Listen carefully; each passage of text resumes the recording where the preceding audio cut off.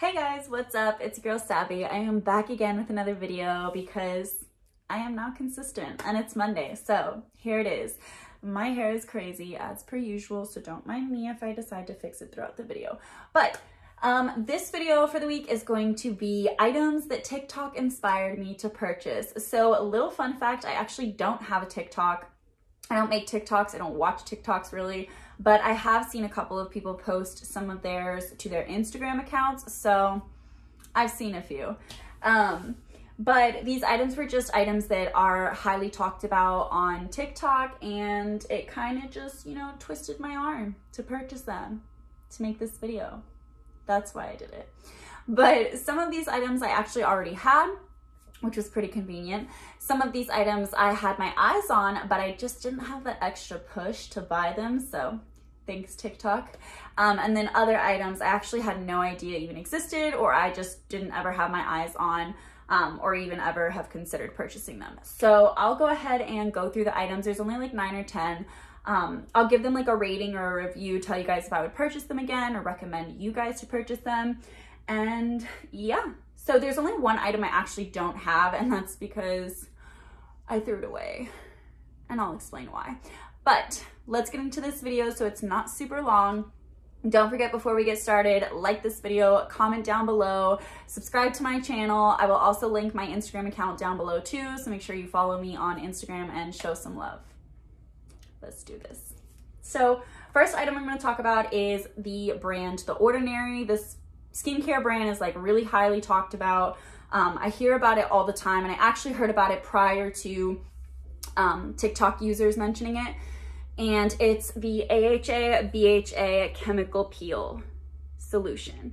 So it's really cool. It's like a really deep red. It's pretty intimidating at first. Um, when you put it on, a lot of people I've heard said that it burns a little bit. It didn't burn my skin. Um, I had just put a little bit on my forehead, each cheek, my chin, and my nose, and then I rubbed it in, left it for the 10 minutes that it says. So I've only used it one time prior to filming this video.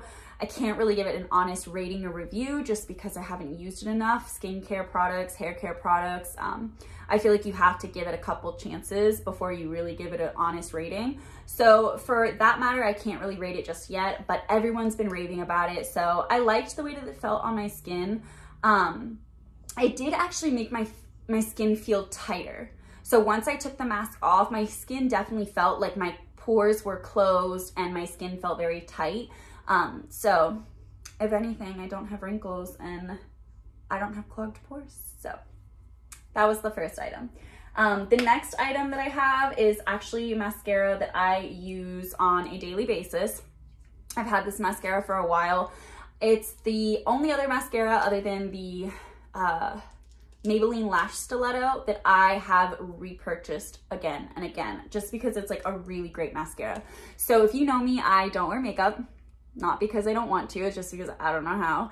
So I try to find like the best mascara possible because I have fairly long lashes naturally. I just have really small eyes, so it's kind of hard to tell, but I'll put a little picture here.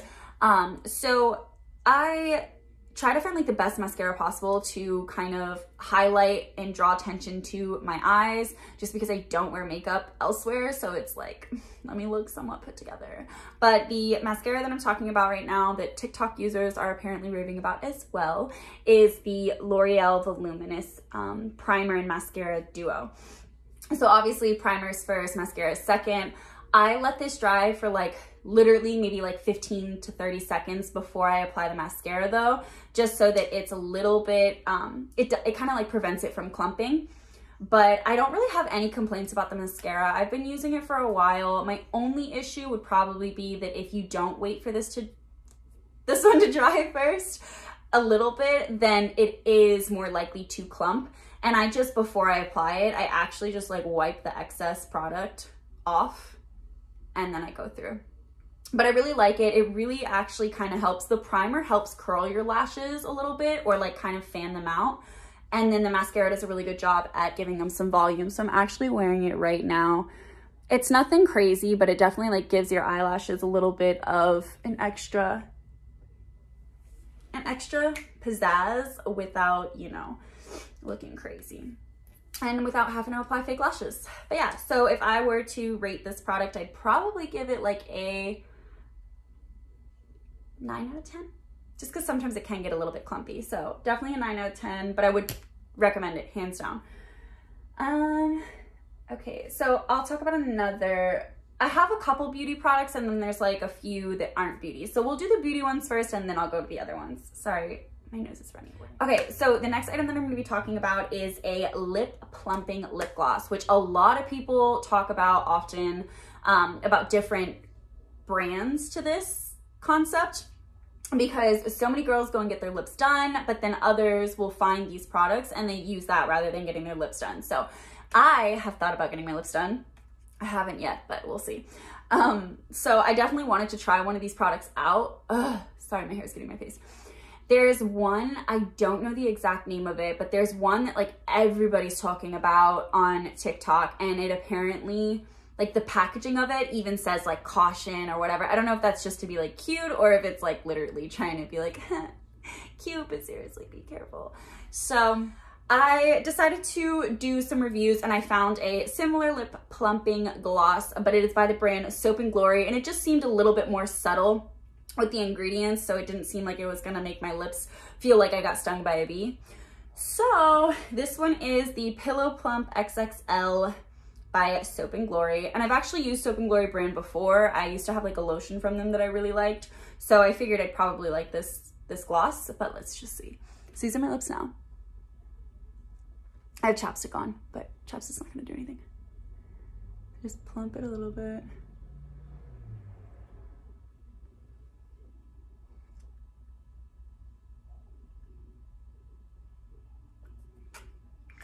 I don't know how much of this I'm supposed to put on, but I just put it on like regular lip gloss. My lip gloss is cool. My lip gloss is popping. Okay, so I'm gonna let that kind of like do its thing because I'm sure it's gotta like set for a couple seconds or a minute or so to see if it works. Um, so I'll get back to that and I'll rate it next.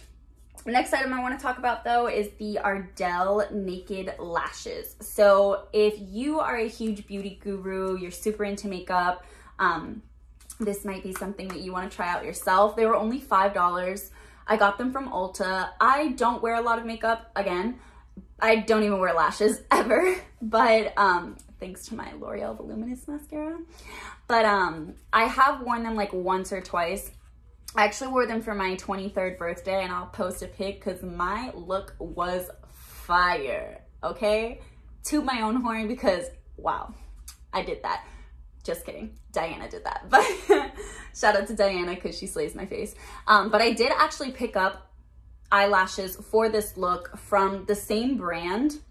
It just wasn't their naked line. So I guess their naked line are like lashes that look more natural and that's usually what I want most. So I figured if I can find some fake lashes that look natural but still be able to add a little bit of extra to the look, um, I would definitely like to give them a try because there are times where like I would probably want to try some fake lashes for certain outfits like my 23rd birthday my 24th is coming up, which I don't even really know if that counts because quarantine has basically taken half of 2020 already. So did I even get to be 23 for a full year? No. So we might just celebrate my 23rd birthday again this year. And I don't care if that's like not a real thing or not, but it might be for me.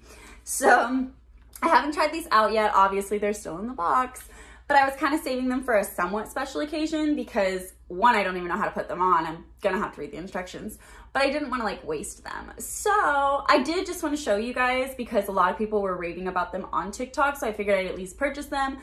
Okay, we gotta fix this, I'm sorry. Figured I'd at least purchase them so you guys could um, like check it out yourself if that's something you're interested in. But if I do, when I do wear them, I will definitely post a picture with them on my Instagram. So make sure you're following me on Instagram. That way you can kind of see how they look, um, how they feel, the application process, um, and you can get your rating on it. So um, can't really give that one a rating yet either. but it is what it is. We'll get there eventually. So my lips are kind of starting to tingle, I'm not gonna lie. Like they don't burn, they don't itch. They're just like, feels like I'm like hum humming or like purring. I'm like, do they look different? Do I look like Kylie Jenner? Just kidding. so, I mean, I like it. Even if it's not like, I feel like it's plumping them a little. I don't know, is it? I mean, I like it. It's not bothering my lips. It's not irritating them. And I feel like a lot of the lip plumping glosses do that. I actually have a different one that I used to use. I ran out of it because I used it all. It was like the Lip Infatuation. I forget who it was by, but I also I got that one at Sephora. And that one worked really well too. It was like, like kind of the same concept. Like your lips would tingle a little bit. I think that one was a little bit more intense. But it did, it doesn't make you go from no lips to Kylie Jenner lips, but it gives you a little bit of a plump. So I feel like this, this did its job. Like it gave my lips a plump, it gave them a nice little gloss. So I'm gonna have to give it a 10 out of 10. I mean, it's not, yeah. I don't really have any complaints, so I like it. I mean, it was $14 for lip gloss, so it's kind of like, eh. But then again, makeup is pretty pricey nowadays, so I'm gonna give it a 10 out of 10. I like it pillow plump. My lips aren't burning and they're not super red like other products do. So I'll take that in some plump over overload plump and bee sting on my lip. So what next? All right, let's, I don't have, I need a towel to wipe this off so I can do the next product. BRB. Lip gloss is off my lips. I'm gonna try another lip product. Um, and this one is by the brand e.l.f. So it is their lip exfoliating lip gloss. Um, and it's basically, or lipstick, sorry. So it's basically like a regular looking lipstick, but it's got little like micro beads in it that help exfoliate your lip. So the cool thing about this, as opposed to like traditional lip scrubs, is that it's in a stick. So it's a lot easier to apply. It's a lot less messy. Um, so I really like that about it. And the packaging, it looks literally just like lipstick. So it's super cute. I feel like I could honestly throw this in my bag. So throughout the day, if my lips are chapped, boom. Now let's see how it feels and if it works. Oh. Oh my God. I can like actually feel the little beads are like That's crazy.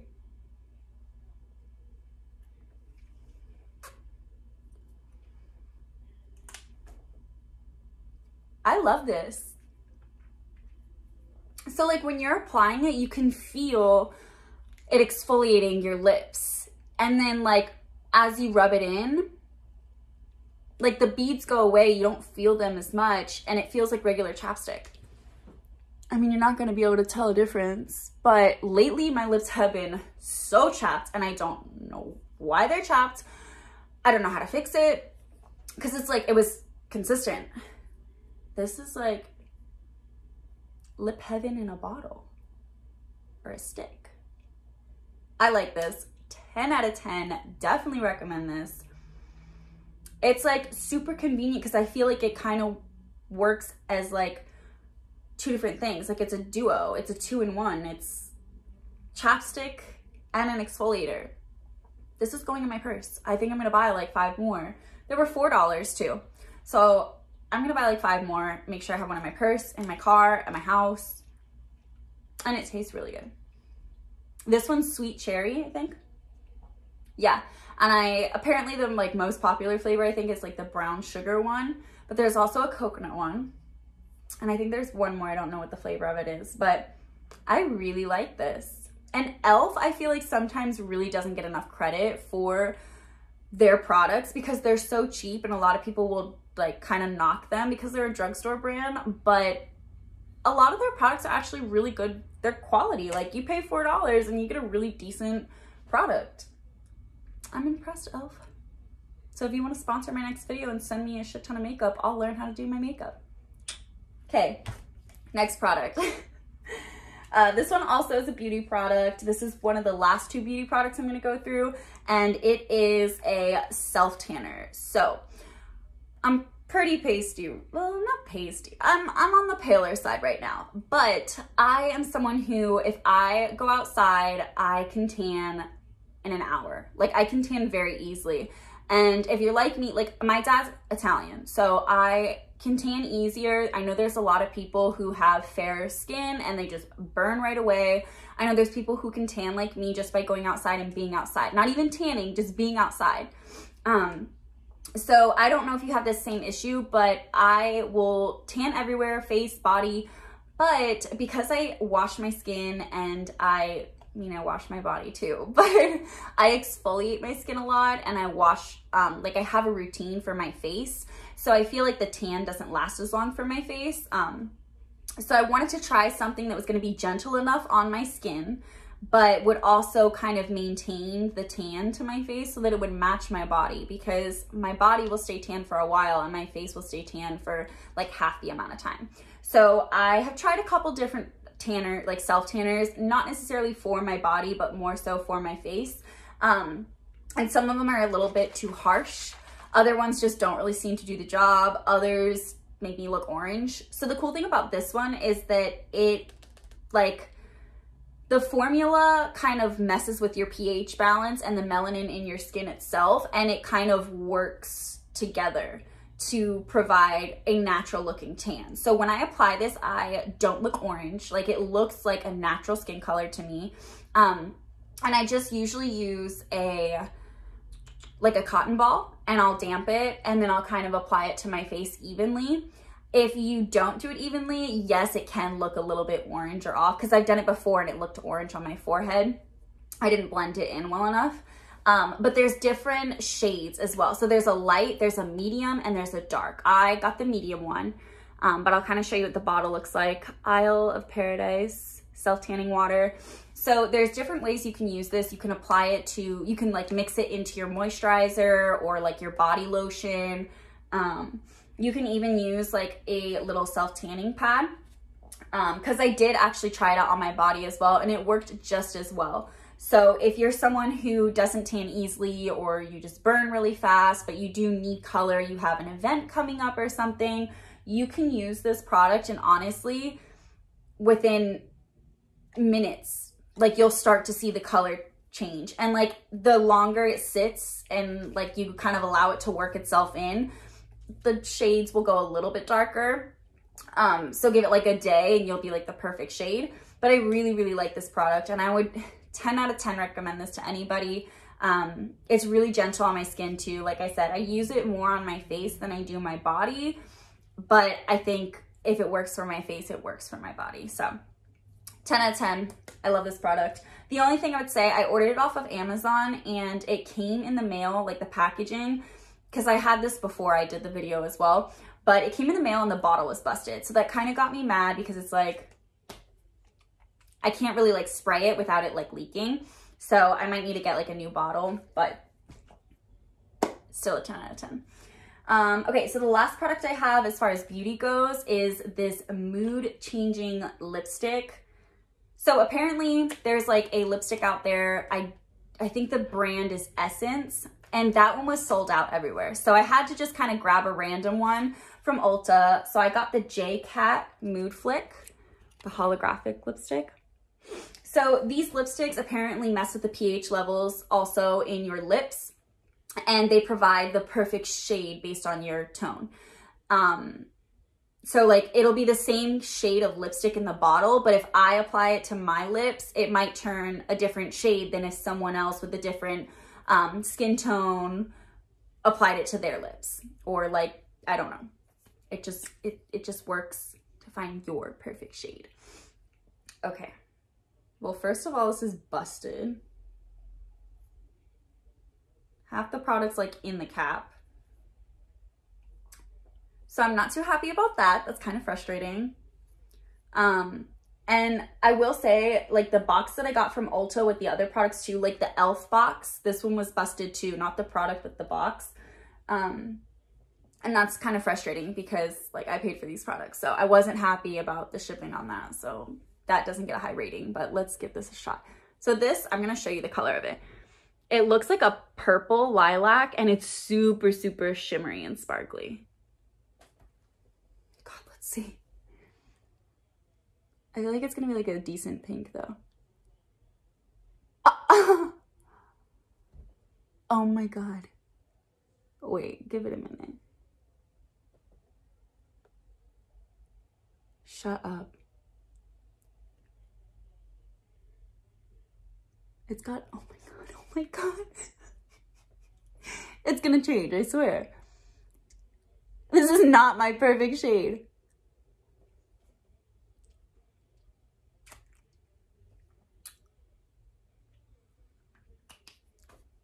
Tastes like bubblegum. I'm waiting for it to change to my perfect shade because this is not it. This looks like I kissed a unicorn's. Fantastic.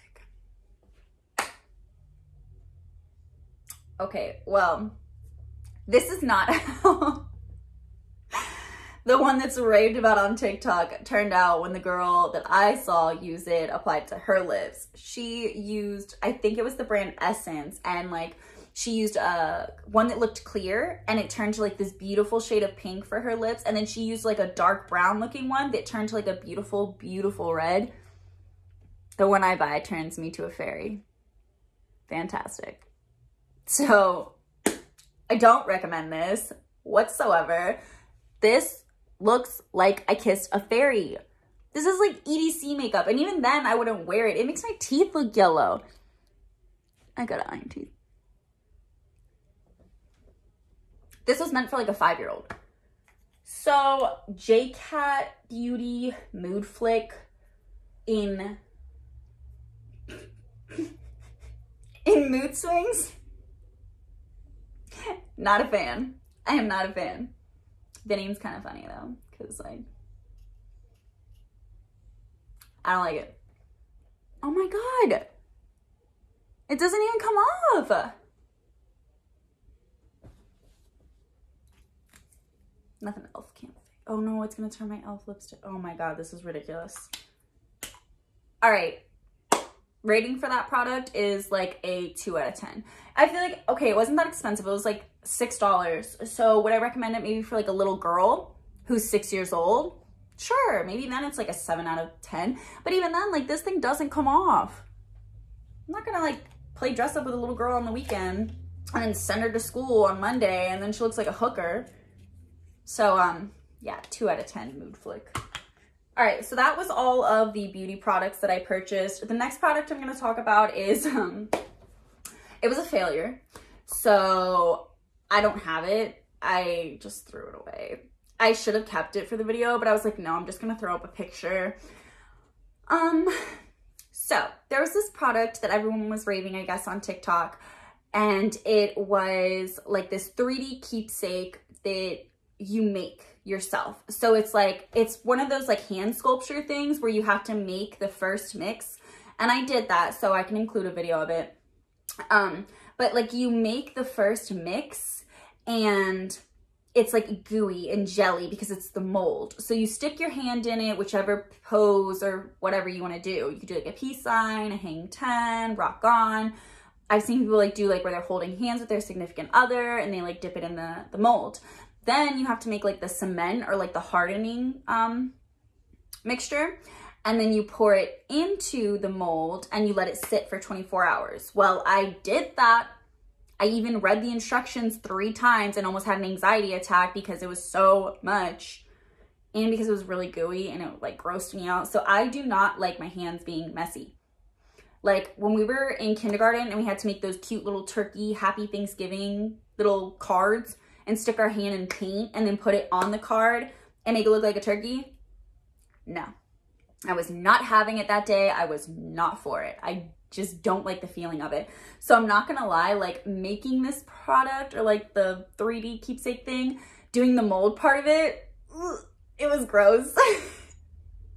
I was freaking out and I was totally being dramatic, but it was still very gross. So um, I made it and it tells you like when you pour in the cement that you have to like bang it on the table so that the cement will drop all the way down to the bottom and fill like the entire mold. Well, I did that and then some of it got on my mom's computer, so I had to stop doing that. Hope she doesn't watch this video. I cleaned it though, so it's okay. But I stopped like, cause I got it enough. So after I did the entire thing, I was like, I don't think I got enough down. Like, I don't think I put enough of the cement in to where it's gonna cover the entire hand. Well, it didn't because this was the final product. So mind you though, I had a really cute idea. I was like, you know what? Everyone probably does like a peace sign or they do like holding hands or something. So I'm gonna do something that's cute and decorative, but it's also purposeful and it's useful. So I was like, I'll just hold my hand like this and then I'll stick it in the, the mold. That way when I bring it out, it can like hold my rings on it. It can hold my watches. I could even set my phone in it. wow, I'm creative. And people think I'm not artistic. Well, this is why. That's how it turned out. Three out of five fingers made it. and I actually have all five fingers, so yeah, that was a little disappointing, I'm not gonna lie. So I don't think it was the product necessarily. I think it was, you know, the person doing the project. But um, my art teacher may, she may agree with that. Um, but yeah, so I would probably still give it a 10 out of 10 or like a 9 out of 10. I wasn't crazy about, okay, I lied. I'm gonna give it an 8 out of 10.